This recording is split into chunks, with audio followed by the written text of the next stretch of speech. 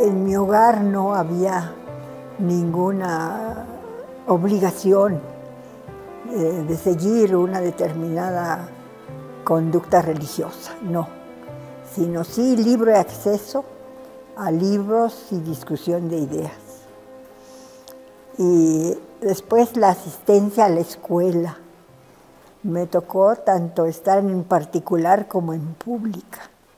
Y en la escuela pública fue donde yo sentí aún más el sentido de solidaridad y de, de igualdad. Después de la educación básica tuve la, la fortuna de estudiar en la Universidad Nacional Autónoma de México, que para mí fue toda una enseñanza, toda una identificación con la, la naturaleza y el espíritu de nuestra gran UNAM. Y después también tuve la fortuna de ir al extranjero y de estudiar economía política en una pues de las que está catalogada como mejores universidades. Ahí fui ya casada, mi esposo sacó un doctorado de esa universidad y yo también saqué una maestría, saqué la maestría, pero después tuve la fortuna de entrar al cuerpo de profesores de la, de la Facultad de Economía, de la ahora Facultad de Economía y de alguna manera pues eh, pertenecer a esta gran liga de mexicanos que somos los que hemos egresado de la Universidad de México. Y de todo el desarrollo del país, el desarrollo del país que cuando yo nací, imagínense, éramos 16 millones de habitantes. Ahora somos más de 100.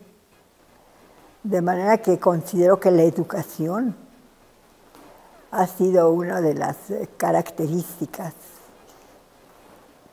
que más he disfrutado y espero seguir disfrutando el placer del conocimiento, de la lectura, de lo que ocurre pues en, e, en, este, en esta que es nuestra patria en este que es nuestro mundo, en este que es nuestro universo.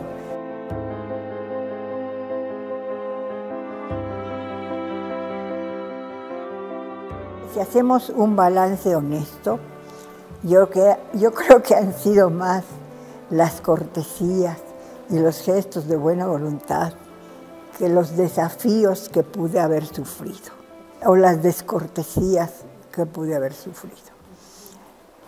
Es más, yo me atrevería a decir que no han sido, cuando he tenido pues algún rechazo, algún así que uno dice, me ve mal, no ha sido por el sexo, sino ha sido por las ideas.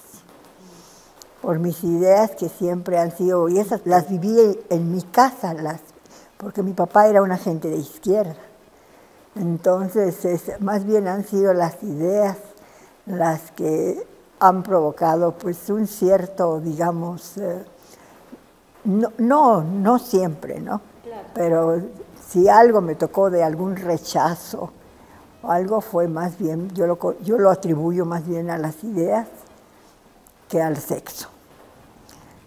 Pues en ese sentido me considero afortunada, muy afortunada porque yo sí considero que ha sido un piso de igualdad en el cual me tocó vivir. Y me ha tocado y hasta la fecha, pues mire usted esta distinción que me están dando, pues no, no tiene nada que ver con el hecho de ser hombre o mujer, ¿no? Y de manera que, pues sí, ha sido también una, una fortuna para mí y así lo siento, para todos los mexicanos, la fortuna de estar en este suelo, con esta historia.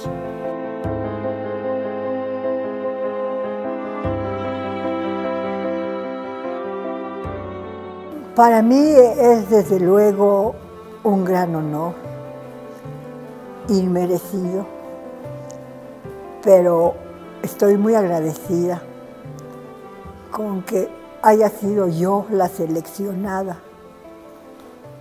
para una medalla que tiene todo el significado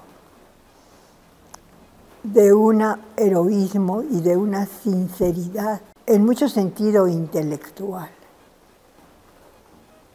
Desde luego que cuando uno lee o se acerca a la vida de Belisario Domínguez, resulta sorprendente de una persona que ha adquirido una cultura, por decirlo así, internacional,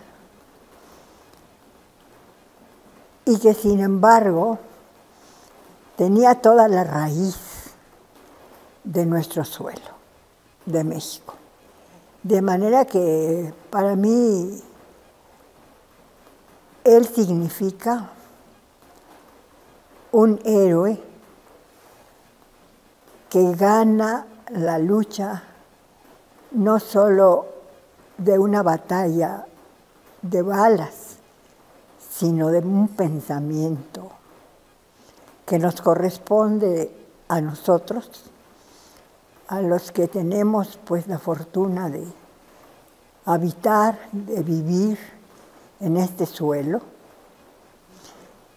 que ya pues ha sido el resultado de tantas luchas que hemos tenido pues los humanos que aquí nos ha tocado vivirla y pues entre ellos la distinción de alguien tan distinguido y tan honesto como Belisario Domínguez.